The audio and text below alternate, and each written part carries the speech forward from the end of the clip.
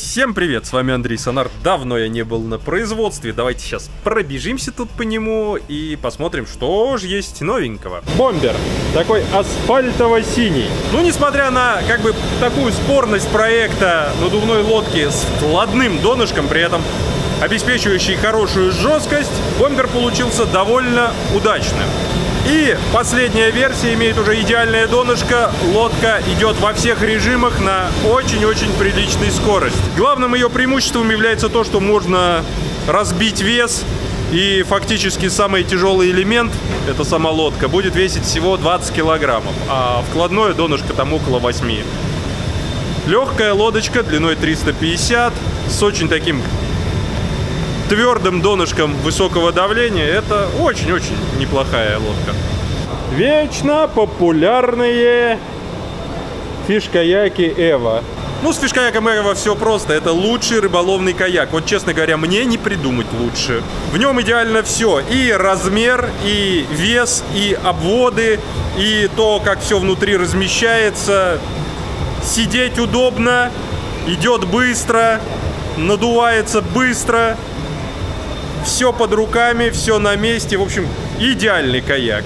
И я так скажу, что у других производителей, а я наблюдаю, как работают другие производители, им не удалось достичь тех возможностей, которые может представить рыбаку фишкаяк Эва. Некоторые пошли, ну, я бы не сказал, что по тупиковой, но несколько устаревшей эм, дорожки и делают э, лодки, которые у нас примерно соответствовали фишкаяку первого поколения, который был сделан на базе корпуса Waterfly. Вот примерно в том ключе и работают. Зачем-то ставят несуразные и неудобные для каяков э, большие жесткие сидения. Э, ничего хорошего из этого не получается. А вот здесь наш уважаемый Сергей Петров что-то измеряет на базе уже доведенной до идеала Веги. Казалось бы, ничего нельзя сделать более интересного. А делаем мы моторный вариант Веги. Но, в отличие от других производителей, которые просто добавили обычные конусы сзади лодки и э, ставят э, обычный транец, у нас будет подход несколько иным. Я не буду сейчас все подробности говорить, но мы хотим добиться так, чтобы установка транса никоим образом не повлияла на ходовые характеристики при гребле. Так что ждите, скоро будет новый интересный катабайт на базе Веги. А вот на стапелях еще одна новинка, которую тоже все долго-долго-долго ждали. Это Вега Спорт, но с самоотливом. Я знаю, что о этой лодке мечтали многие. И вот мечты сбываются с тайм-триалом. Ну, понятное дело, что производство рафтов, оно перманентно, неостановимо, и рафты есть всегда. А вот на заднем плане делается рафт волнотрон, моторный рафт. Конечно, волнотроны не разбирают как пирожки, но тем не менее устойчивый спрос на них есть. Заказывают их всякие службы спасения или просто те люди, которые хотят лодку, которой ничего не случится, если она, мало ли, перевернется где-то на волнах или на бурной воде. Мотор при перевороте рафта Волнотрон всегда будет защищен. Посмотрите, какой красивый покрафт-марафонец. Много-много-много корпусов для рафтов марафонец. По центру же корпус от аргона или экшена Скорее всего, это Action Dry будет, судя по всему. По такому же принципу сделаны днища и на нашем волнобое, и на нашем олимпийце на покрафтах, и на каяке Action Dry. В общем, это наша такая хитрая конструкция. Но дело не в этом. Вот догадайтесь, зачем на днище стоят вот такие вот штуковины? А тут какая-то такая лямочка. А вот тут кармашек. А в кармашке еще резиночка, которая вот отсюда вот так вот вытягивается. Так что это загадка вам, дорогие подписчики. Отгадайте, что это такое, пишите в комментариях. Хорошая тема насчет загадки. Потому что те, кто не в теме, скорее всего, не угадают. А те, кто, те, кто в теме, угадают сразу. На самом деле я даже сам вот был не в теме, и поэтому вот спросил у специалиста, что это такое. А вот та лодочка, о которой я сам долго мечтал, это сделано на базе L3TT, которая в свою очередь сделана на базе L3M. Но это уменьшенная лэшка. Она как раз для одного человека. Длина ее порядка 260 сантиметров. Если Л3 ТТ все-таки была такой большой лодкой, изначально-то она вообще была трехместной, то этот размерчик как раз не избыточный и самое то для одного человека. При этом у нее будет покрафтовый вес. Я что-то думаю в районе 4,5-5 э, килограммов, не больше. Соберем набор фурнитуры для новой лодки. Включены. Маленькие логотипчики. Мы будем стараться лодочку делать максимально легкой, поэтому вместо металлических колец берем вот вшитые петли. 4, 5, 6. Взяли. 4 спиннинга держателя. Поставить все 4 или только 2 я решу немножечко позже. Ручки. Я думаю, хватит двух. На нос и на корму. А вот теперь мне нужна помощь профессионала. Профессионал, подскажите, пожалуйста, мне нужно две люверсные полосы, черные, длиной или 90, или 100. Есть 89, а есть, кстати, 94. Тогда две вот эти. 83. Вот, их две. Годится. Вот, уже хорошо. Ну, вот такой незамысловатый наборчик фурнитуры.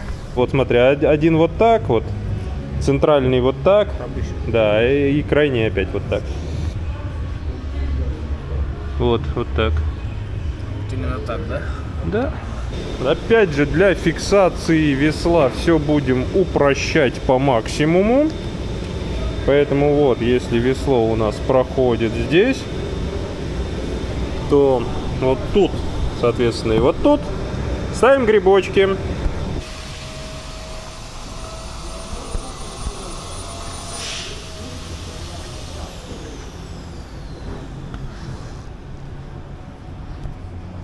Вот, кстати, это основа для банана, причем для зимнего.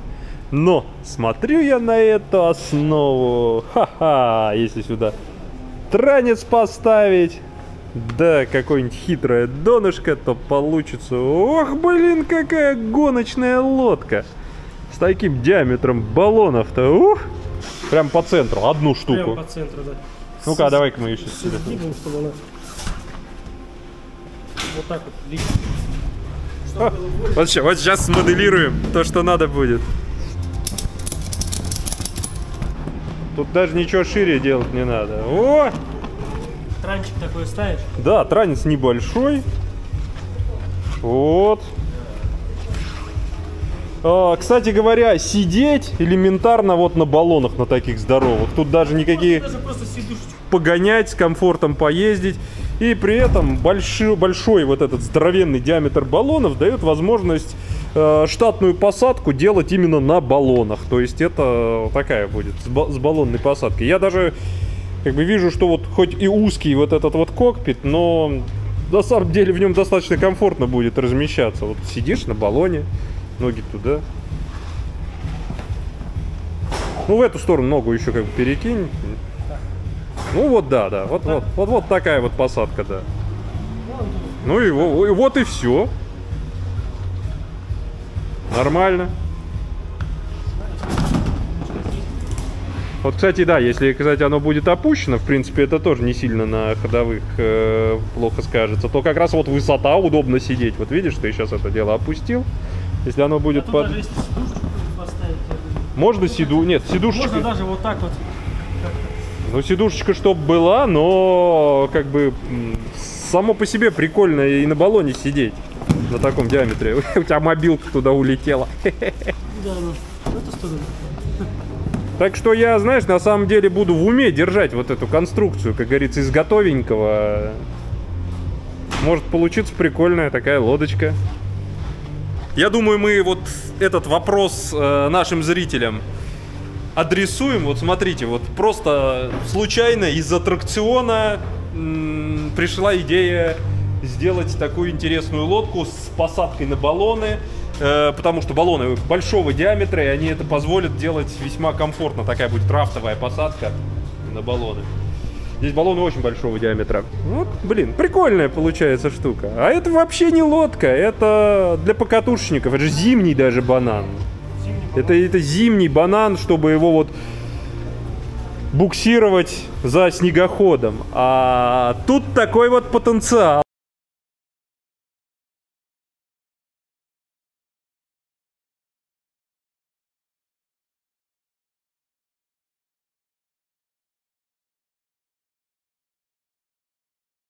Кстати, это будет еще очень жесткой лодкой. Чем больше диаметр баллона, тем лодка жестче и для бурной воды подойдет.